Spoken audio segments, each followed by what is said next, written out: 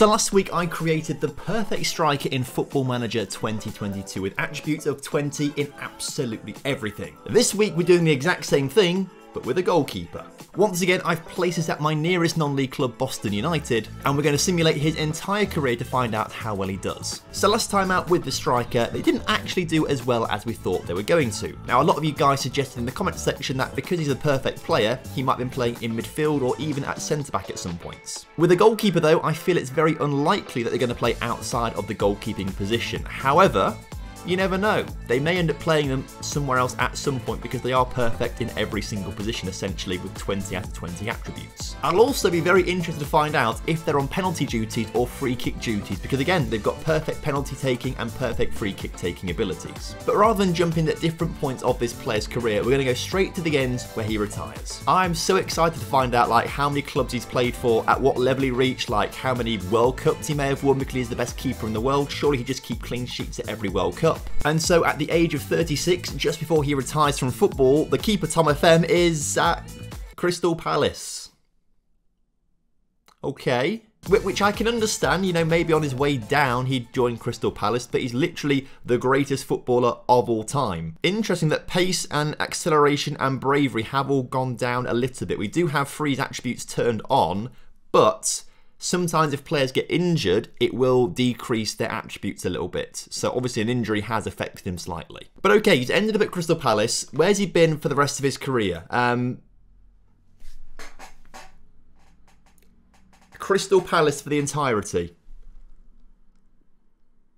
Well, I'm sorry for wasting your time. I, uh, sorry, I can't. What? You were meant to go from Boston to Real Madrid, Liverpool, Man City, Bayern Munich, PSG, and you spent the entire career at Palace. How and why? I mean, unless Crystal Palace have turned into the absolute powerhouses of the Premier League, then that might be acceptable, but I don't think they will have done. So since this experiment started, Crystal Palace have come second once in 2034 and won it actually in 38-39. So they're good, but not Arsenal, Man City, Liverpool good. But I would like to think actually that the keeper has actually turned Crystal Palace into this incredible team. If we just click on Palace, for example, and look at their senior squad, and we change this view to a uh, experiment view so we can actually see the current ability of players, the current ability isn't amazing. Like, obviously the keeper's got 200 out of 200. There's a few players with over 150, but that's pretty standard for the Premier League. Like, it's not a, it's not an incredible team. So I'd like to think that this guy's actually got them to the top. They won the Premier League in 38-39. One second. If I load up the save file from that season, they actually won the title by a single point ahead of Arsenal and Liverpool. But if we look at the current ability of the team, yeah, it's not great at all. Like, it's, it's pretty average. So I'd like to say that they've won the Premier League title solely because of this keeper. If we compare it to the Arsenal team, you can see they've got players with uh, over 100. Uh, basically, most players who are playing are over 150 current ability. And if we look at Liverpool, it's a very similar story, although the Arsenal team is a little bit better. Okay, so we've maybe worked out that this keeper has single handedly won the Premier League title for Crystal Palace. But why did he never leave? Like, why did other clubs not get interested? I guess one explanation for it actually is his hidden attribute of loyalty will be 20 out of 20, so he's just incredibly loyal to Crystal Palace. I think maybe in future experiments we just put it to like zero. So let's look through some individual awards for this keeper then. Uh, he has won the men's best goalkeeper in 2041, 2039, uh, 2037 and actually 2026 as well. Went for a long period of time where he didn't win the best keeper in the world. But um, Meslier did on several occasions. And there's no way Meslier is better than this keeper. But he was playing for Real Madrid. And that's the difference, right? He will win those best keeper awards on the ground he's playing at Real Madrid with a defence that's absolutely incredible. If our keeper was at Real Madrid, imagine how many awards he would have won. World Golden Glove, uh, three of those have been won 2026, 2037, and 2039. But again, Meslier also won three. Never won the Ballon d'Or. Now, I'm going to look through a few of these years, but um, as I scroll down, not even the top three in a lot of these.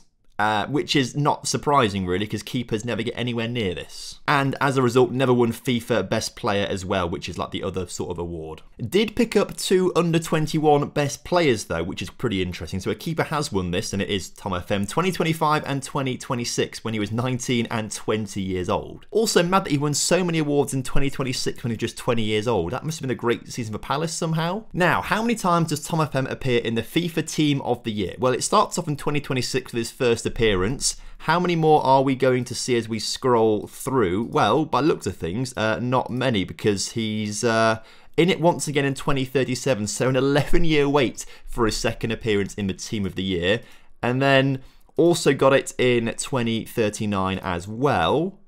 And 20, that's, no, just those three times. This is like an overall thing. So Wow. Also, uh, no goals scored at all. We did speculate that he could be on penalties and free kicks, but clearly was never actually given the responsibility of them. He has also gone on to win two Europa Leagues with Crystal Palace as well in 32 and 37, an FA Cup in 36, and two Conference Leagues as well but never the Champions League. Now, with 183 appearances for England, surely there he will have the ability to shine. And England won the World Cup in 2022, which bodes well for this year, but I don't think he would have been the goalkeeper then. European Championships won in 24, 28, 36 and 40. I imagine he was the keeper for all of those. And then three UEFA Nations League as well. I imagine he was a keeper in all of those competitions as well. But I've scrolled down to the bottom of his competitions that he's won and he got his first England cap after the 22 World Cup. So yeah, no World Cup. But at least Denmark have won the World Cup. Congratulations to Denmark beating Germany in a final. Wow. Poor Tom FM. Came third at one point, but obviously the England team weren't quite good enough. Oh, what a shame. But obviously, as we have mentioned, uh, four of the five European Championships that he's played in, he won. So, I mean, that's that's not a bad return. See, this is interesting. This is really interesting. Um, I think maybe there's a few things we can tweak in the future, particularly hidden attributes such as loyalty, which might make a difference as to how these players move to different clubs. I do enjoy these experiments though. I think we'll do a manager one soon, and maybe we should do like a centre midfielder and a centre back at some point, or wingers. I mean, let me know what you want to see in the comment section below. So thank you very much for watching today's video. I hope you guys have enjoyed. If you have done, drop a like on the video for me, subscribe if you're new around here, and leave a comment down below for the YouTube algorithm algorithm. Until next time, have a good one. Goodbye.